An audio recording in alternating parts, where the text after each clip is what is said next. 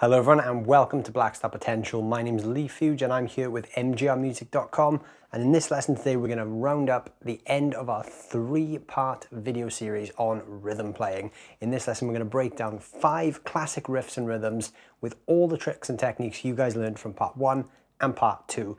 So if you haven't already checked out part one on the building blocks of rhythm or part two on the techniques of rhythm, please go check those videos out first and then come back to this video where we're going to turn those tips we learnt into some classic riffs. The sound you're hearing in this video is coming from the Blackstar Debut 15. I've got that amp mic'd up with a Lewitt audio condenser mic and the guitar I'm using is my Shergold Provocateur. So the first rhythm we're going to learn is the classic song Knocking on Heaven's Door. We're going to base this on the original Bob Dylan version. This uses just four chords. So the chords we're going to be using are G, D, A minor, and C. So think back now to that first rhythm lesson where we talked about different rhythmic divisions. We're going to be doing eighth notes for this with a 16th note thrown in and alternate strumming from the second lesson. So the rhythm is one and two and a. So we play this as down, down, down on the one and two, and on the and a, we're doing a down and an up.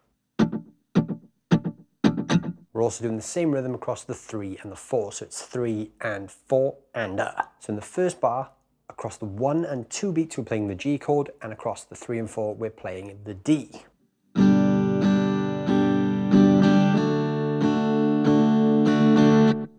And then on the follow-up bar, for the entirety of the bar, we're playing the A minor chord, so we're doing that little rhythmic pattern twice.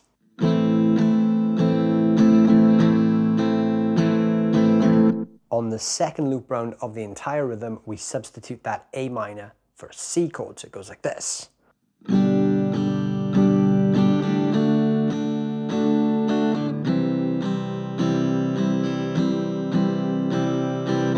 So if we put that all together, we've got G, D, A minor, G, D, C. So here is the entire progression.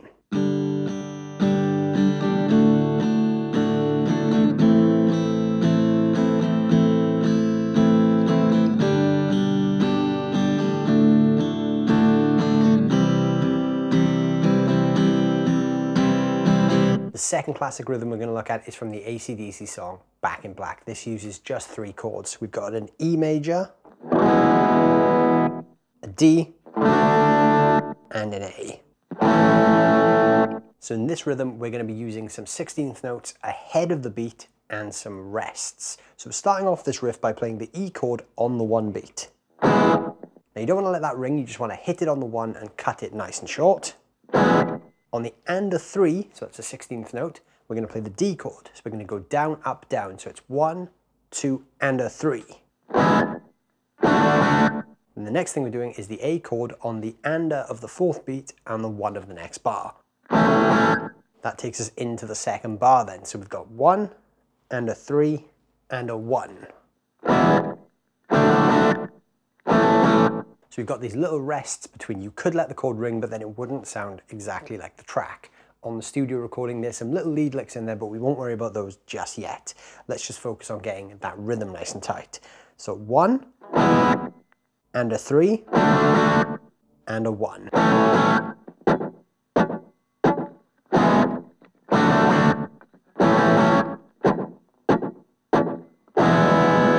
So those muted notes there were just to show the beats in the second bar because all you're doing in that second bar is playing the A on the one and then resting until the following one where you're back on the E. So the next one we're gonna do is the Kinks track, You Really Got Me. We're using just two chords for this. We're using an F and a G. Now I played those as power chords there, but you could play them as bar chords if you want to. It's much easier to start with power chords. So if you're new to playing, try the power chord version first and then graduate onto the bar chord version later on. So this rhythm is straight eighth notes, but we're starting on the and of four. So the initial count in one, two, three, four, we're coming in on the and, and one and two and, and there's a rest there until the next and four.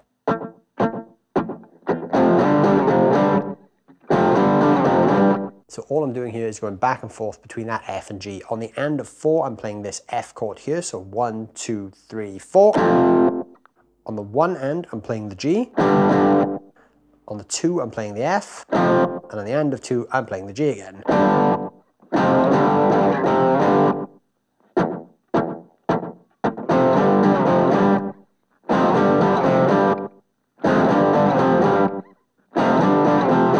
fourth classic rhythm we're gonna do is Should I Stay or Should I Go by The Clash. This uses just two chords. We've got a D chord and a G chord. We're also bringing in this little open string hit between certain chord changes where I'm just hitting the E, B and G strings as open strings just to help with some transitions. So this riff starts on the and of one. So we're not playing on the one, we're playing on the and with two hits of the D. So it's and two. Then on the and of the two, we're hitting that open string. So one, on the three and four, I'm playing the G chord. The and of four, I'm playing that open again before going back to the D on the next one. One. During the second bar, I'm just playing a muted hit on the two, three, and four. So for this, all you can do is rest your fretting hand across the strings and go. That's two, three, four. The third bar is the same as the first bar, so we're playing that same rhythm again. And then in the final bar on the third beat, this is a little bit of a lead technique here, but I'm doing a quick hammer on from the five to the eight of the E string. So here's this riff all together. One, two, three, four, one.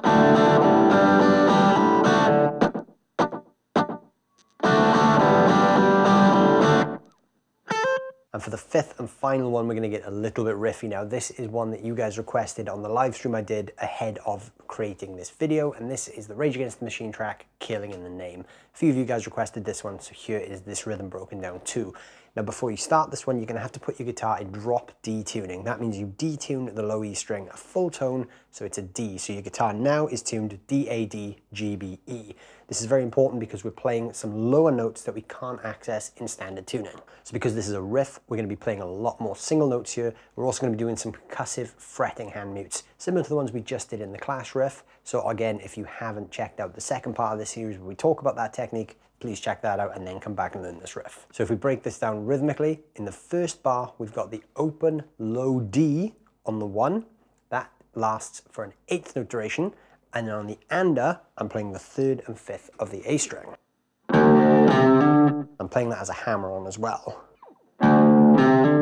In the second beat, I'm doing straight 16th notes. So on the 2E, I'm doing two fret hand mutes. So I'm resting my finger across the strings and percussively hitting them with my strumming hand.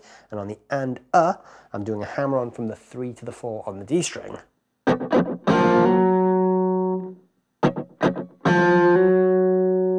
So if you put those two beats together, it's going to sound like this. The third beat is just going to be straight eighth notes. So on the third beat, I'm playing the fifth fret of the A string. And on the end of the third beat, I'm playing the top three strings, so the D, A, and D, all open. In drop D tuning, three notes on top of each other is now a power chord.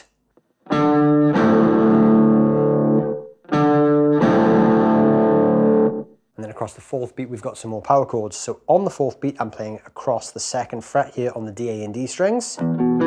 So that's now a power chord. So I'm playing that on the fourth beat, and then I'm hitting the third fret power chord with my middle finger on the E. So four E and back to two. I'm actually, I'm doing that first power chord transition as a hammer on as well. If you can't do the hammer on, don't worry, just pick all three power chords.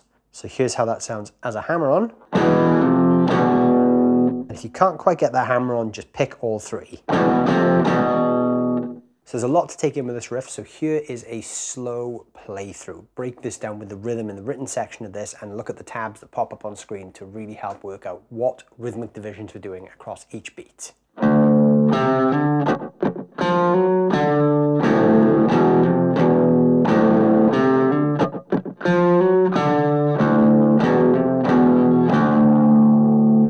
Here's that riff once more at full speed.